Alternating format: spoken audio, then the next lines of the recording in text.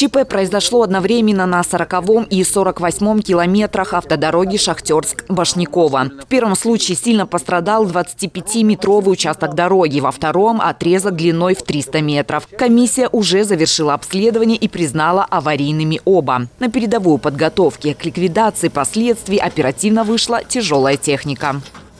В связи с тем, что мы сейчас завозим грунт на расстоянии почти 100 километров, а там, а, принято решение сначала формировать склад цепучих материалов и только после этого приступить непосредственно к ремонту работ для удобства жителей, чтобы срок непосредственно ремонта их работ сократить.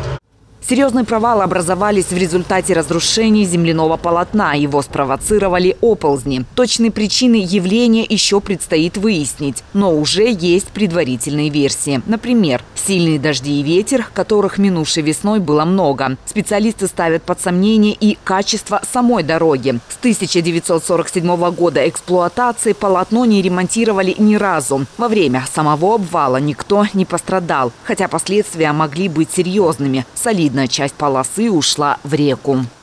На этом участке трассы проезжая часть сужена до одной полосы движения. Протяженность поврежденного полотна составляет 25 метров. Ограниченный режим движения на аварийных участках ввели с соблюдением мер безопасности. Маршрутный транспорт, а также школьный автобус на время проведения экзаменов для старшеклассников ежедневно будут сопровождать экипаж ДПС и дорожники. И моя задача сейчас, вот когда автобусы будут, школьные автобусы, когда будут ехать, встречать их на этом участке на опасных и сопровождать их, пока минуем эти участки. Восстановить дорожное полотно и вернуть привычное двухполосное движение подрядчики обещают к началу июля. На приобретение необходимого оборудования и работу специалистов из резерва областного бюджета направлено 45 миллионов рублей. Ольга Артемова, Данила Маслов, телекомпания ОТВ.